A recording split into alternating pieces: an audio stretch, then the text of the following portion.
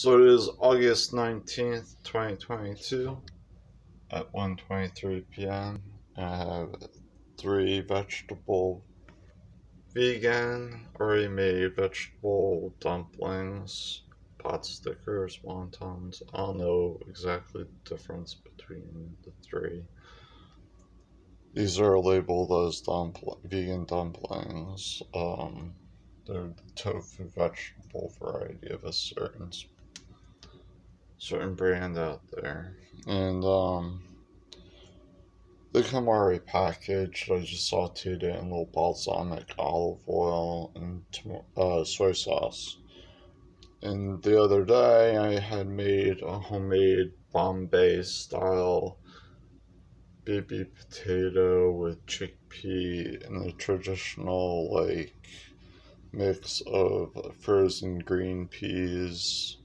I used frozen green green peas and um,